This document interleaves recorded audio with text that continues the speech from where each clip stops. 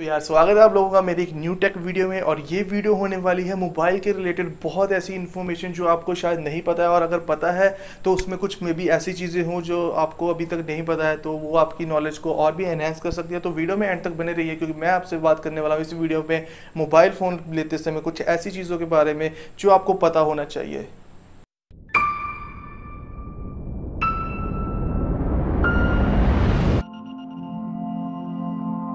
तो चलिए यार, वीडियो को आगे बढ़ाते हैं और यार, सबसे पहले मैं बात करने वाला हूँ कि जब भी आप एक न्यू फ़ोन बाय करने जाते हैं तो फ्लिपकार्ट अमेजोन और जितनी भी बाकी सारी वेबसाइट्स हैं, जैसे मी डॉट कॉम इस पर आपको अलग अलग तरह के फ़िल्टर्स मिलते हैं। फ़िल्टर्स कैसे होते हैं कि आपको जैसे प्रोसेसर कौन सा चाहिए, आपको डिस्प्ले साइज़ कितना चाहिए या आपको बैटरी कितनी चाहिए। लेकिन कोई भी किसी भी टाइम पे आपको ये नहीं कहेगा कि इसमें सॉफ्टवेयर वर्जन आपको को, कोई भी फ़िल्टर नहीं मिलता कि आपको इसमें एंड्रॉयड नाइन मिल रहा है एंड्रॉयड टेन मिल रहा है या आपको इसमें कस्टमाइज एंड्रॉयड मिल रहा है वनीला एंड्रॉयड मिल रहा है या कुछ इसमें किस तरह का एंड्रॉयड उसमें एड्स है नहीं उसके बारे में यार कोई बात ही नहीं करता। और जब हम उस फ़ोन को बाय कर लेते हैं और बाद में हमें रिग्रेट होता है जैसे कि अभी देश में बात चल रही है कि ये चाइनीज़ ऐप्स को बायकआउट करने की तो यार ये इसमें कुछ ऐसे ऐप्स हैं जो प्री इंस्टॉल्ड आपके फ़ोन में इंस्टॉल्ड आते हैं। फॉर एग्ज़ाम्पल यार आप रेडमी का या मी का कोई फ़ोन बाय करते हैं तो उसमें मी कम्युनिटी ऐप जो है वो प्री इंस्टॉल्ड आता है। मी जिसे आप चाइनीज़ ऐप स्टोर भी कह सकते हैं वो भी आपके फ़ोन के अंदर प्री इंस्टॉल्ड ही आता है। और मे, मेरे हिसाब से अगर आपको ये सोशल मीडिया के थ्रू अवेयरनेस ना दी जाती कि इन ऐप्स को अनइंस्टॉल करना है तो आप मेरे हिसाब से ध्यान भी नहीं देने वाले थे कि इन ऐप्स को फ़ोन में से रखना है या नहीं रखना है। आप बॉदर ही नहीं करेंगे कि आपका बाकी काम चल रहा है ना? इंस्टाग्राम फेसबुक व्हाट्सएप वगैरह चल रहा है तो मार्क जगरबर्ग आपके फ़ोन पर राज कर रहे हैं। और बाकी चाइनीज़ वगैरह ऐप्स की तरफ़ कोई ध्यान नहीं दे रहा। और इससे सबसे पहले हम अब इसी की अगर बात चल रही है तो मैं बताता हूँ कि जो एंड्रॉयड है, वो गूगल ने बनाई है, सबको पता है। लेकिन गूगल ने इसको ओपन सोर्स करा हुआ है, जिसका मतलब ये है कि कोई भी मैन्युफैक्चर मतलब मान लीजिए आप ही आज उठ के कोई एंड्रॉयड फ़ोन या कोई फ़ोन बनाना चाहते हैं, उसके अंदर आपको ऑपरेटिंग सिस्टम की ज़रूरत होगी। उस ऑपरेटिंग सिस्टम को आप गूगल से, उनकी टर्म्स एंड कंडीशंस या पॉलिसीज़ वगैरह के अगर रेगुलेशंस वगैरह को एग्री करते हैं तो उसको आप अपने फ़ोन के अंदर इंस्टॉल कर सकते हैं। अभी जैसे हुआवे के जो फ़ोन आ रहे हैं, उसमें एंड्रॉयड का A O S P version आ रहा है। मतलब कि उसके अंदर आपको गूगल की जी एम एस जैसे कि उसके अंदर जी मेल है प्ले स्टोर है, ऐसी सर्विस आपको नहीं मिलने वाली है। उसमें आपको उनका एक अपना ही एच एम एस करके शायद एच एम एस करके ही उसके अंदर एक अपनी ही सर्विसेज़ दी जाती हैं, जिसके ऐप स्टोर के थ्रू आप अपने फ़ोन के अंदर ऐप्स वगैरह डाल सकते हैं, जो कि गूगल प्ले स्टोर के जितने उनके पास ऐप्स नहीं है। तो यार ऑनर का फ़ोन लेते समय आप ये बात का ध्यान ज़रूर रखें। और अब हम बात करते हैं कि स्टॉक एंड्रॉयड क्या है वनीला एंड्रॉयड क्या है, और कस्टमाइज्ड या कह सकते हैं कि आप जो भी एक फ़ोन के ऊपर अलग स्किन इंस्टॉल करके आते हैं प्री इंस्टॉल चीज़ आती है तो अब हम इसके बारे में बात करते हैं। या स्टॉक एंड्रॉयड या वनीला एंड्रॉयड सेम चीज़ है, ये वो एंड्रॉयड वर्जन है जो आपको पिक्सल डिवाइसेस के अंदर देखने को मिलता है, और एंड्रॉयड आपको प्योरेस्ट फॉर्म में मिलेगा मतलब जो गूगल ने डेवलप कर दिया है वो।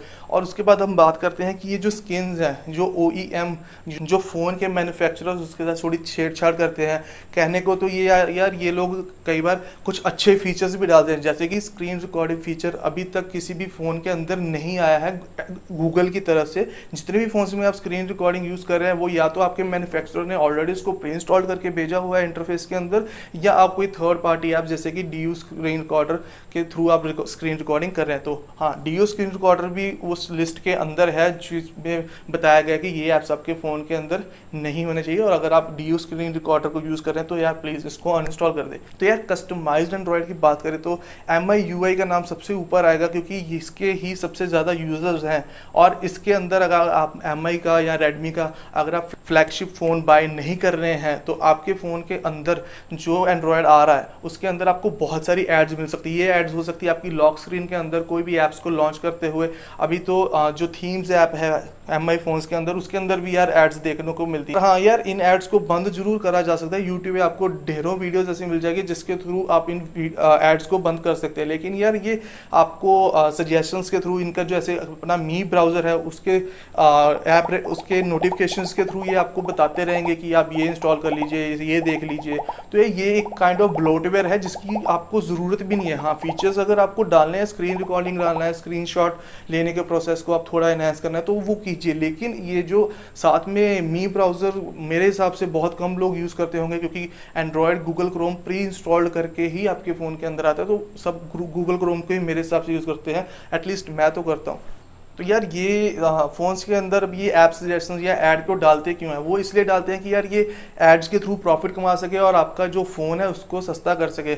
आप सोचेंगे कि यार फ़ोन सस्ता करने के लिए अब एड्स डाल रहे हैं बट लेकिन कुछ लोगों को ये बिल्कुल चीज़ें अच्छी नहीं लगती। मतलब कम ऑन यार, आप अपना कुछ बिज़नेस रिलेटेड कुछ कर रहे हैं या कुछ आप अपना कुछ बहुत ही जिसमें आपका फोकस कंसंट्रेट हुआ पड़ा है, उसमें बीच में आपसे आपको यार कोई वलगर सी ऐड आ जाए या कुछ ऐसी ऐड आ जाए जो आपको चार लोगों में आप बैठे हो तो नहीं शेयर कर सकते कि क्या है मतलब तो यार एड्स मुझे तो बिल्कुल भी नहीं पसंद है, इसीलिए मैं काफ़ी देर से मोटरोला के फ़ोन्स यूज़ कर रहा हूँ। मैंने मोटरोला वन पावर यूज़ करा हुआ है मोटो एक्स यूज़ करा हुआ है मोटो जी फाइव को यूज़ करा हुआ है और उसमें यार मुझे नियर टू स्टॉक एक्सपीरियंस मिलता है और हाँ मोटो के थोड़े एडिशनल फीचर्स जैसे कि वो चॉप चॉप वाला फीचर तो मिल जाता है। लेकिन यार एमआई के फ़ोन्स के अंदर ऐसा आपको बहुत बार देखने को मिला होगा कि वो ऐप सजेशंस मिल जाते हैं। प्री इंस्टॉल्ड बहुत सारे ऐप्स आते हैं जो कि हमें यार नहीं यूज़ करने चाहिए, क्योंकि अभी तो जैसे आपको रिसेंटली काफ़ी न्यूज़ में देखा होगा कि उन ऐप्स के थ्रू आपका जो डेटा है, वो चाइनीज़ सर्वर्स पे भेजा जा रहा है। और इसीलिए तो गवर्नमेंट यार आपको कह रही है बार बार कि आप ये जो ऐप्स हैं, इनको ना यूज़ करें। अब यार मी रेडमी के से आगे बढ़ते हैं तो अभी इंडिया में जो एक नई स्मार्टफ़ोन कंपनी उभर के आ रही है, वो है रियलमी तो यार रियलमी अभी तक तो अपने फ़ोन्स के अंदर जो कस्टमाइज स्किन यूज़ कर रहा था, वो वही यूज़ हो रही थी जो ओप्पो वीवो में प्री इंस्टॉल्ड आती थी, क्योंकि है तो ये इनकी ही सिस्टर कंपनी क्योंकि इनका पेरेंट कंपनी सेम ही है।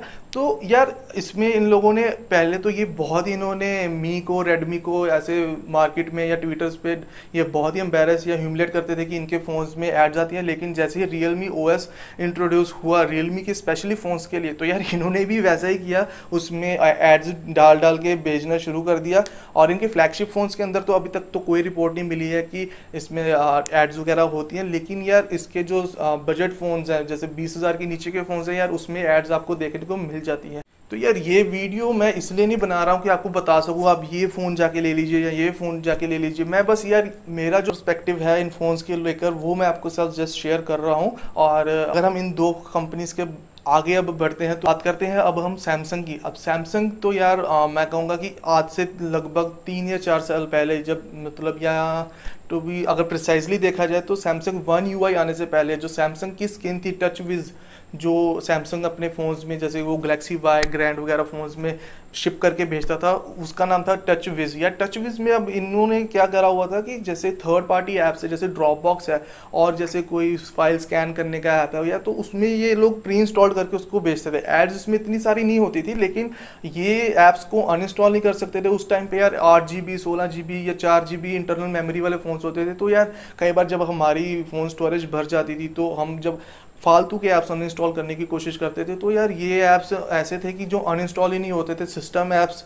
दिखाता था हमारा फ़ोन का यूज़र इंटरफेस तो यार ये काफ़ी अनोइंग था। इसलिए मैंने तो उस टाइम तक कभी किसी को सजेस्ट ही नहीं करा कि सैमसंग का फ़ोन आप बाय कीजिए, या मैंने खुद भी नहीं कभी कोई सैमसंग का फ़ोन बाय करा है। लेकिन अभी जैसे सैमसंग वन यू जो आया था, वो काफ़ी रिफाइन था, उसमें काफ़ी सारा ब्लॉटवेयर अब ब्लॉटवेयर क्या है यार? ब्लॉटवेयर है कि एंड्रॉयड का जो भी हम नॉर्मली गूगल बना के बेचते हैं, उसके ऊपर जो एडिशनल सारी ये चीज़ें हैं, उसको ब्लॉटवेयर कह सकते हैं। तो यार ब्लॉटवेयर के अंदर ये जितने भी फालतू ऐप्स हैं, इनको कोई भी यूज़ में भी करते हो, करने वाले लोग। लेकिन अगर आप सैमसंग का फ़ोन यूज़ कर रहे हैं, उसके अंदर आपको गूगल सर्विसेज़ मिल रही है। सैमसंग की आपको क्लाउड स्टोरेज मिल रही है गूगल की क्लाउड स्टोरेज मिल रहा है। तो यार आप ड्रॉप बॉक्स को क्यों यूज़ करेंगे?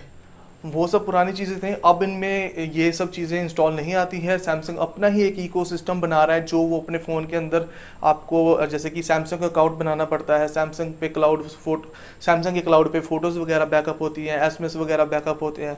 तो लेकिन अभी जो रूमर्स आए हैं, मैं नहीं जानता कि ये सच है या गलत है, और मे बी ये नियर बाई फ्यूचर में सच हो भी सकते हैं। तो यार मे बी जो सैमसंग का न्यू इंटरफेस टू आने वाला है, उसमें एड्स भी हो सकती हैं, और ये इसलिए कर रहे हैं कि वही बात है ना, क्योंकि इनको मार्केट में टिके भी रहना है। बाकी सारी कंप बाकी सारी जो इस सेगमेंट में कंपनीज़ डोमिनेट कर रही हैं मार्केट शेयर को, उनको टक्कर भी देनी है और इसलिए इनको प्राइस भी कम रखना है। काफ़ी अग्रेसिव प्राइस पे भी फ़ोन को लॉन्च करना है।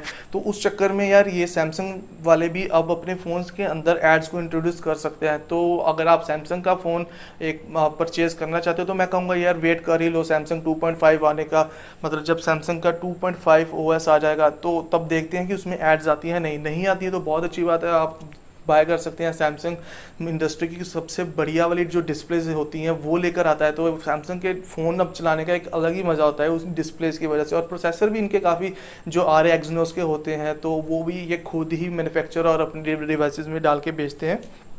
तो यार आगे बात करते हैं कि आप कौन से फ़ोन्स ले सकते हैं। अब चाइना के फ़ोन्स को बॉयकआउट कर लिया, अब ये कोरियन कंपनी सैमसंग है, इसमें आपको एड्स में भी आ सकती हैं। तो यार कंपनी बची है मोटरोला मोटरोला भी कहने के लिए तो है, इसका जो पेरेंट कंपनी है लिनोवो वो चाइनीज़ कंपनी है, लेकिन फिर भी मोटरोला के जो फ़ोन्स हैं, उसमें आपको काफ़ी इसकी बिल्ड बहुत अच्छी मिल जाती है। सॉफ्टवेयर अपडेट्स हैं, वो टाइमली मिल जाते हैं। पहले की जितनी टाइमली नहीं है, लेकिन इनका टाइमली से मेरा मतलब ये है कि इनका जो एंड्रॉयड होता है, वो काफ़ी नियर टू स्टॉक एक्सपीरियंस देते हैं। वो बहुत ही वनीला होता है, उसमें आपको ज़्यादा चेंजेस या इंटरफेस को आप मॉडिफाई वगैरह थीम्स वगैरह, वो फालतू चीज़ें एड्स वगैरह आप देखने को नहीं मिलती हैं। तो अगर आप मोटरोला का फ़ोन बाय करते हैं तो आप तो एक तो आपको दो साल तक सिक्योरिटी अपडेट्स भी मिलते हैं। अब सिक्योरिटी अपडेट्स ये दूसरी कंपनीज़ वाले तो मैं कहता हूँ तीन चार महीने तक इनका सिक्योरिटी अपडेट ही ना था। फीचर अपडेट की बात तो बहुत दूर की है। जो सिक्योरिटी अपडेट्स हैं मोटरोला के फ़ोन्स के अंदर, जैसे मैं मोटो वन पावर यूज़ कर रहा था तो उसमें तो हर महीने आ रहे थे। लाइक अगर पाँच जून के अराउंड पिक्सल को सिक्योरिटी अपडेट आ रहा है तो 19 जून के अराउंड मेरे मोटो वन पावर में भी सिक्योरिटी अपडेट हो चुका था। तो यार मोटरोला का फ़ोन अभी जैसे आप देख रहे हो कि फ्यूजन प्लस आने वाला है तो आप वो फ़ोन भी बाय कर सकते हैं। मोटरोला फ्यूजन प्लस जो फ़ोन है वो कंपटीशन के जितने भी फ़ोन है जैसे Poco X two Realme six pro उनको कम्पीट कर रहा है और इसकी प्राइस बहुत ही कंपनी अग्रेसिव रखी है। इसको अगर आप यूरोप में इसका जो लॉन्च हुआ था वो 300 पाउंड में हुआ था इसको आप रफली देखें तो वो 22 24,000 के अराउंड आता है और इंडिया में इसका प्राइस 17,000 निकल के आया तो यार मोटो का फ़ोन भी आप चाहें तो बाय कर सकते हैं क्योंकि इसमें मुझे स्टॉक एंड्रॉयड मुझे और स्टॉक एंड्रॉयड बहुत अच्छा लगता है यार। तो उम्मीद है यार आपको ये वीडियो काफ़ी इन्फॉर्मेटिव लगी होगी। मैं आपको मे भी थोड़ा कंफ्यूज कर रहा हूँ क्योंकि अगर आपको नेक्स्ट फ़ोन आपने लेना होगा तो आप ये सब चीज़ें भी ध्यान रखेंगे। तो आपको मे भी थोड़ा टफ लगे फ़ोन डिसीज़न फ़ोन मे भी थोड़ा टफ लगे कि आपको कौन सा फ़ोन लेना है। लेकिन हाँ अगर यार आपको ये रिग्रेट बात भी करने से तो अच्छा है ना कि अगर आप अभी थोड़ा ज़्यादा ध्यान दे लें फ़ोन के हार्डवेयर के अलावा अगर आप सॉफ्टवेयर की तरफ़ भी ध्यान देंगे तो यार आपको रिग्रेट नहीं होगा और आपका फ़ोन जो होगा, वो आपके साथ ज़्यादा देर तक बना रहेगा। और यार मैं शायद प्लान कर रहा हूँ कि आने वाले टाइम में मोटो वन फ्यूज़न बाय करूँगा। अगर मैंने बाय करा तो डेफिनेटली उसकी अनबॉक्सिंग और फ़र्स्ट इंप्रेशंस वीडियो लेकर आपके लिए ज़रूर आऊँगा। और गाइस उसके अलावा ये टोटल जो वीडियो थी, उस, वो बनाने का मेरा मकसद यही था कि थोड़ी थोड़ी इन्फॉर्मेशन आपको ऐसी होनी चाहिए कि जैसे जो भी आजकल मार्केट में चल रहा है ताकि आप किसी के बहकावे में आके एडवर्टाइजमेंट्स को पढ़ के दस परसेंट, पंद्रह परसेंट का डिस्काउंट दे के वेबसाइट्स पर फ़ोन ना लीजिए, बल्कि एक सेंसिबल तरीके से डिसाइड कीजिए कीजिए कि आपको कौन कौन से फ़ोन में क्या फ़ीचर मिल रहा है, उसका एंड्रॉयड में क्या है वर्जन वगैरह और उसके अपडेट्स क्या हैं तो वो सब चीज़ें मैं चाहता था कि आपके साथ डिस्कस करूँ। क्योंकि यार प्रोसेसर दिखा के या आ, उसके बाकी सारे बैटरी वगैरह बाकी फीचर्स दिखा के तो आपको कोई भी फ़ोन दिलवा देगा। लेकिन अब अब फ़ोन का प्रोसेसर अच्छा होगा गेम खेलेंगे। गेम कितनी ही खेल सक एक टाइम पे गेम खेलेंगे लेकिन फ़ोन का बाकी इंटरफेस तो आप सारा दिन यूज़ करेंगे ना। तो यार ऐसे ही इसीलिए ये मैंने आपके लिए वीडियो बनाई थी। और मैं यार डिस्क्रिप्शन में कुछ वेबसाइट्स को मैंशन कर रहा हूँ जो आप चाहे तो रोज़ उनको या हफ़्ते में एक बार, जब भी आपको टाइम मिले उनके, आप पोस्ट को पढ़िए, उससे आपको और भी काफ़ी कुछ सीखने को मिलेगा एंड्रॉयड के रिलेटेड या बाकी फ़ोन्स में जो भी चल रहा है आजकल। तो थैंक्स यार थैंक्स फॉर वॉचिंग एंड ये वीडियो थोड़ा लंबा बन गया है बट मुझे लगता है कि ये ज़रूरी था, ये थोड़ा काफ़ी इन्फॉर्मेटिव वीडियो मेरे हिसाब से था, जो भी मुझे आज तक पता था इन चीज़ों के बारे में, मैं सोचा उसको थोड़ा थोड़ा थोड़ा करके आप सबके लिए लेके रहा। हूँ so my name is Geetak and thanks for watching my video stay tune till next video